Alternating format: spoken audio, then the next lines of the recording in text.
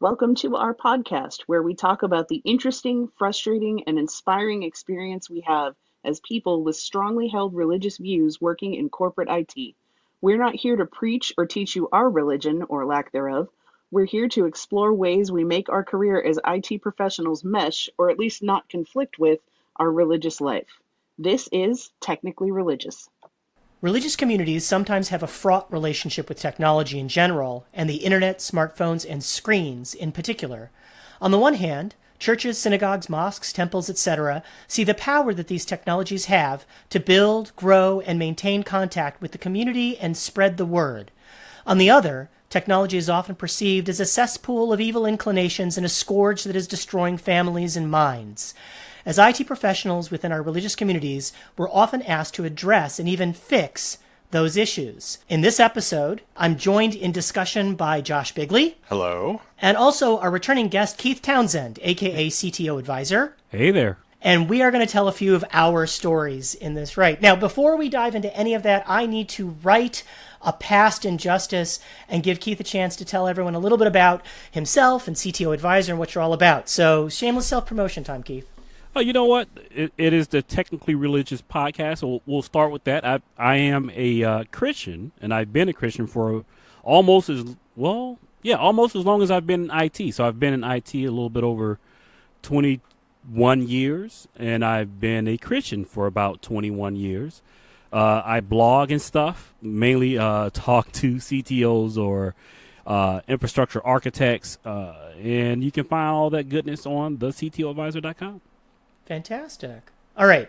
And the next thing I'd like to do is point out for uh, people who've been listening to this podcast for a while, this is actually episode number 15, if you're keeping track, that this episode is sort of counter to our normal style or story. Usually we talk about our life as an IT person who is recognizably or somehow visibly connected to a faith, moral, or ethical worldview.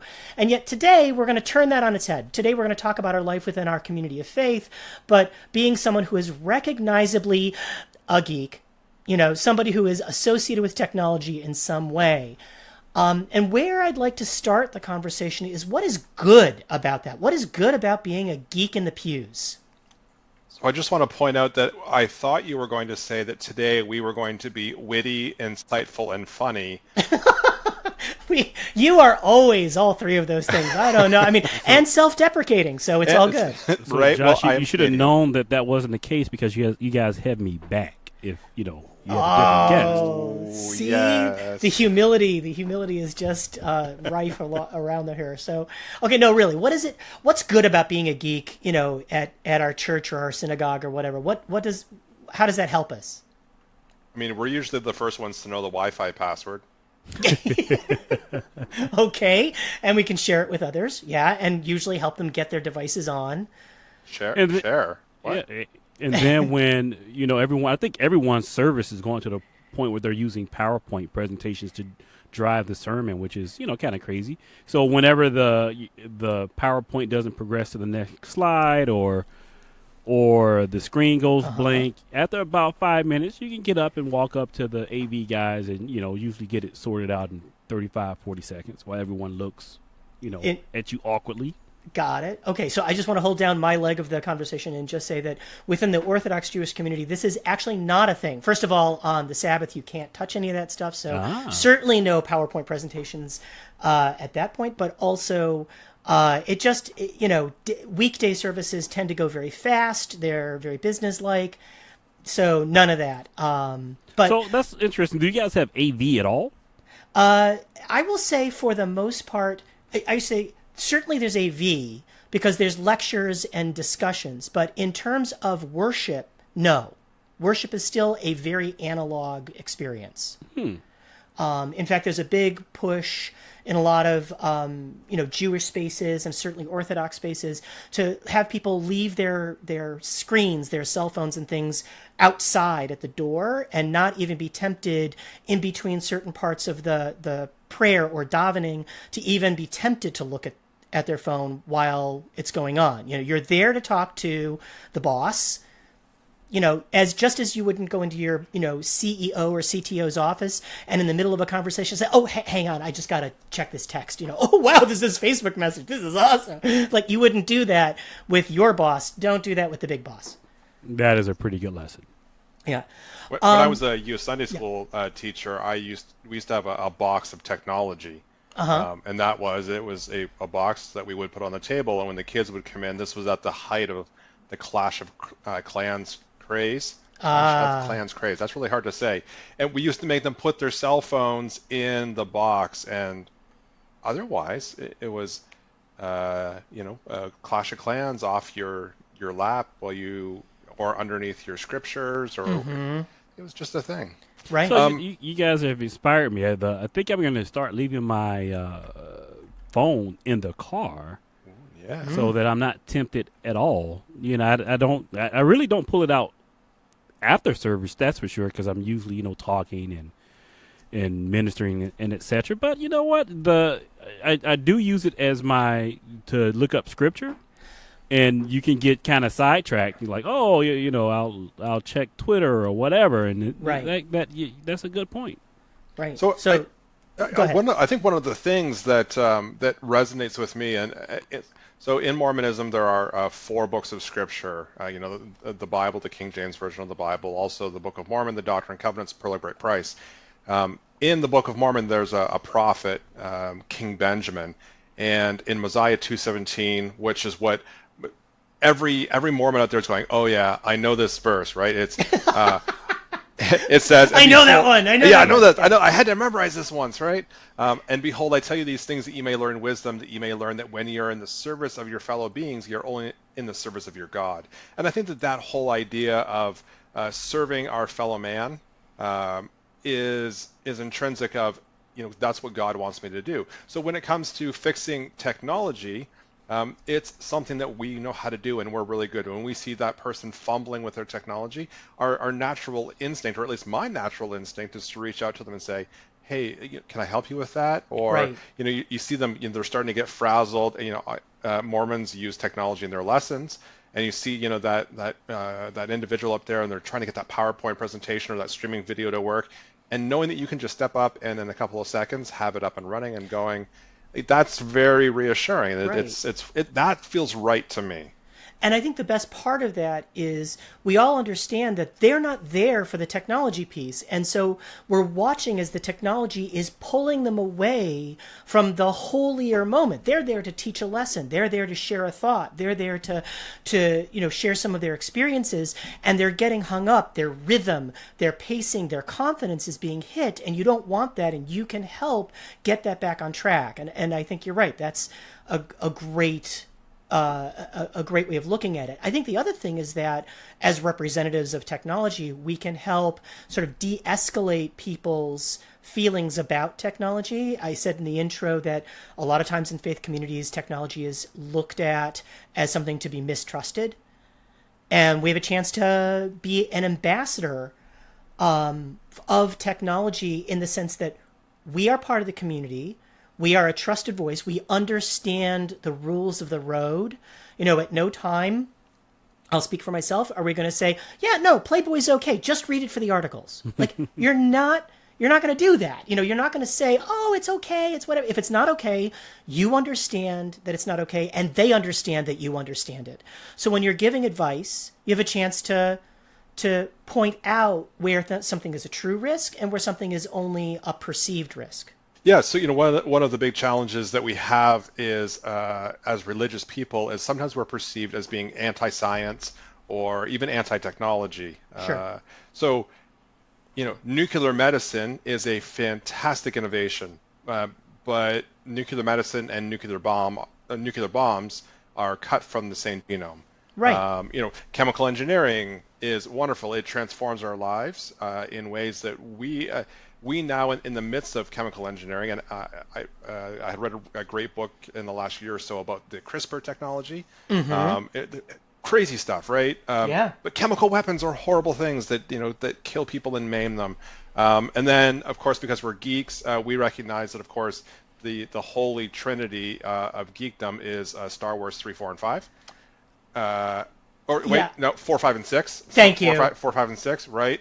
Um, and Jar Jar Binks is, uh, I, I think the word that Should- you wrote here is an unholy abomination. Yeah, yeah, and I will say the character is conceived. The actor is fantastic, and I do not want to contribute to uh, his struggles because he really, you know, actors get sometimes get jobs they don't expect to go the way that they go. But yeah, I'm not a fan of the first uh, three movies. Um, going back to CRISPR, it's interesting because there was just a, uh, ep- a segment on NPR today that was talking about somebody who's uh, creating CRISPR babies, and they thought they would make a, a person, a human that was uh, HIV resistant. And it turns out that there's all sorts of downstream consequences. However, that same technology can be used to to uh, correct some amazingly impactful diseases when used. So even within the same technology, um, you know, there's a balance there. And I think that being a technologist within a faith community allows us to help point out that these are uh, opportunities to make moral, ethical, I'll say righteous or or uh, higher power directed decisions about a tool, whether that tool is a hammer or a CRISPR. Then I think the other thing that you know we hadn't talked about is that personally, it, the discipline of being a technologist gives me the ability to ask critical questions and even critical questions of my own faith.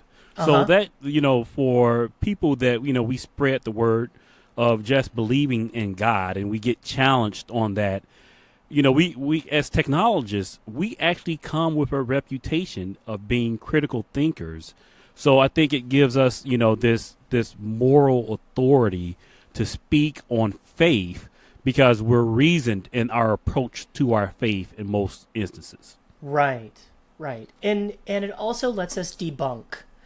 So there's again the debunking of you know no that's actually you know the eh, the IRS is not going to call you and ask you for your password Exactly. and things like that. There's a story that's told in Orthodox Jewish circles that I hate. It's one of those apocryphal stories, but frequently in in Orthodox circles when you're talking about technology, it comes out. So there's a there's a, a kollel guy, a guy who learns scripture as his job, you know, all day long, eight ten hours a day. This is what he does, and he needs to make a living, and so.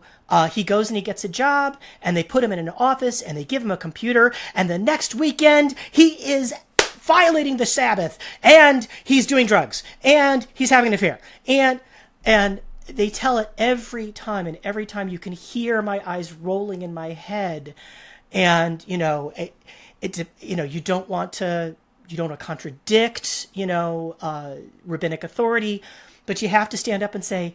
I think there might have been a couple of other problems with this guy. I don't think the computer was really the thing that threw him over the edge. If the next weekend he was violating the Sabbath and doing these things, and it sounds a little far fetched anyway.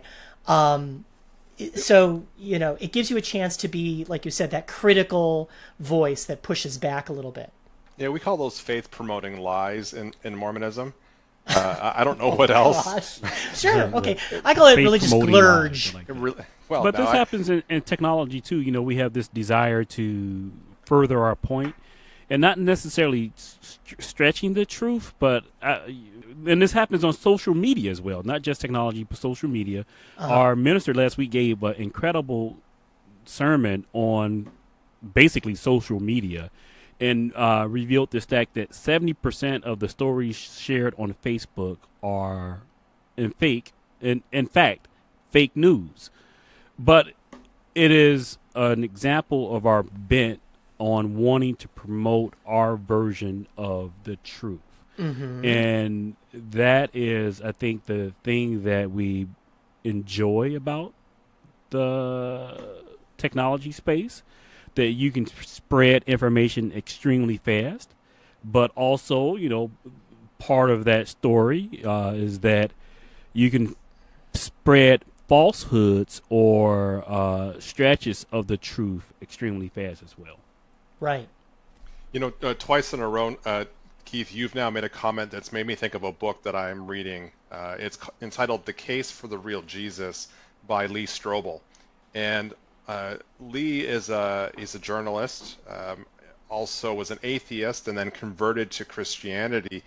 and he meets with someone who actually lives over in Nova Scotia. So I, I live on the east coast of Canada, and he meets with this uh, historian and professor, and he's talking about the the stretches of truth that have happened within Christianity since the time of Christ, and how it, we're looking at these uh, these Gnostic gospels that have come out over you know the last you know 50 or 60 years they've really come to light and challenging this narrative of Jesus with uh, which was you know the Coptic the Coptic Gospels uh, with these Gnostic Gospels and saying, oh my goodness, you know these things, uh, you know they were written hundred years after Jesus was uh, on the earth, but you know they're saying that Jesus you know really had three eyes, and I know that that's not what they're saying, but it's it's that idea that we can make these uh, we can make these uh, allegations and it's really hard to back them up because the disinformation out there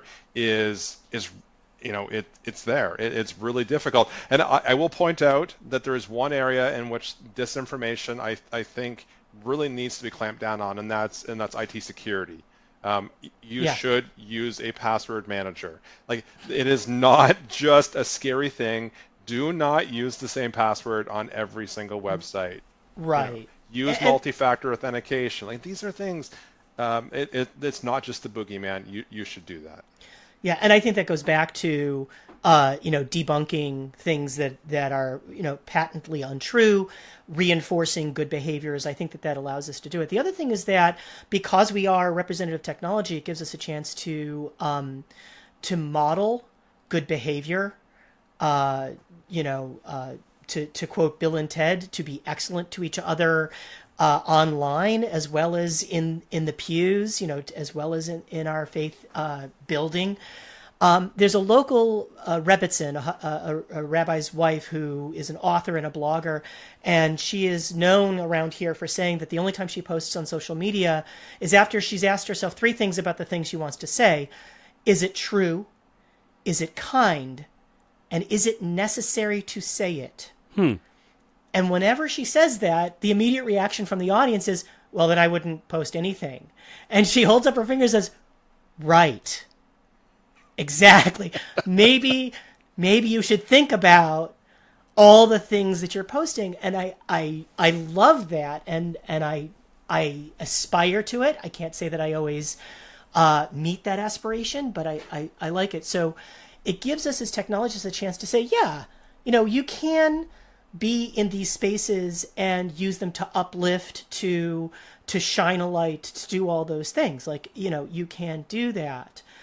Uh, wait so based on those three rules are, are you announcing the end of the podcast? Are, are we are we disbanding? I i don't i believe that everything that we have talked about uh, in our episodes is certainly kind and true to the best of our ability and i i think it's necessary Okay, I'm, I'm willing. I was I was just concerned. I thought you were firing us. No. there you go. That, that was no. a very kind, but it was a very kind way in which he did it. Right, right, and that's the other thing is that you know everyone I think has become aware that people say more than on online to people than they might say face to face, and uh, you know I I don't know uh, uh, your side of it, but I know that Judaism has very specific rules about what they call rebuking another person. You know, when you want to give them uh, a little bit of a correction, and that's you. You are not permitted. In fact, you are commanded not to rebuke somebody unless you are able to do it in private, to do it with only love in your heart, and to only do it when you are certain that the other person will hear you so if the other person is not in a headspace to understand what you're going to be saying, you are commanded to keep your mouth shut. And so, the same thing, if you in saying it, you are going to become agitated or unhappy or upset, you're not allowed to say it. All those things. And I think that again, social media gives us a chance to practice that and to and to model it. Yeah, I, I try and I try to be an example on social media.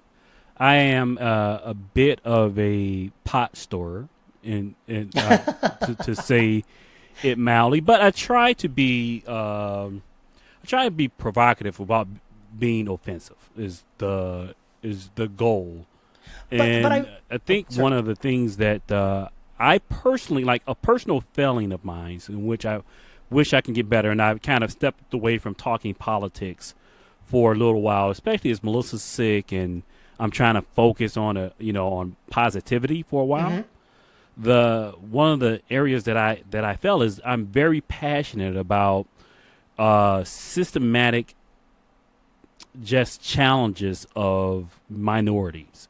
So whenever you know kind of something happens politically in that space, it's really hard for me to balance Christianity and my desire to uh, and this a is not a godly desire to to uh, to get justice because it's not for us to get. If you know, from a Christian perspective, that's for God to provide, mm-hmm. and that you know, the, so I try and model that, and sometimes people will, you know, I get a lot of compliments on my ability to just have very difficult but yet respectful conversations but I, I, have to be honest. My heart is not always coming from a great place, but it's really great advice to you know kind of be the change you want to see. Well, and I will say that that first of all, you know, struggling with or wrestling with something is is the work. Um, so you know the fact that it's not easy means that you're at that you're at that point of growth, right? You aren't in the easy space where everything is just simple. You're you're you're pushing yourself. But I will also say, just having watched your social media accounts, that you focus on issues, and you focus on events, but you don't focus on people. You are willing to go after an idea, and you're willing to go after to call out, a, uh, you know, an event or an attitude, but you don't call out a person and I think that that now some people may feel threatened by you challenging an idea, whether that's about virtualization or social justice or any of those things. But that's that's what they brought to the table. You're just calling out this situation, this design, this architecture, this finan- you know, this financial structure. This is not this is suboptimal. And, they don't like that, that. And, I, and I think the that comes from a space from being able to look at myself and people show have shown me in the past where I just wasn't Christ-like in loving other people. You know, Christians we have a very difficult time with the concept of homosexuality and mm-hmm. and sexual identity. So we look at that as a different weighted sin than other sins. And I've had that struggle in my past. Mm-hmm. Uh, and to be and then to not look at people with the same love of Christ that I looked at. So I try and address issues and not people because if I treated people, if people people treated me the same way that uh, that I treated people in the past when I had those views, then I would never have changed. So I try and give people the same grace I was given, which is, you know what, this person has the capacity to change and if we focus on the issue, then hopefully they'll uh, have the space to tra- change. So we have to give the space to have the conversation. And this is going back to technology. Technology gives us the space to have the conversation, but we have to model what that looks like. We know you can't listen to our podcasts all day, so out of respect for your time, we've broken this particular discussion up. Come back next week, where we pick up our conversation with the things that challenge us as ambassadors of IT within our religious community. Thanks for making time for us this week. To hear more of Technically Religious, visit our website, technicallyreligious.com, where you can find our other episodes, leave us ideas for future discussions, and connect with us on social media. A Jew, a Christian, and a Mormon walk into a mosque. And none of them knew how to fix the router.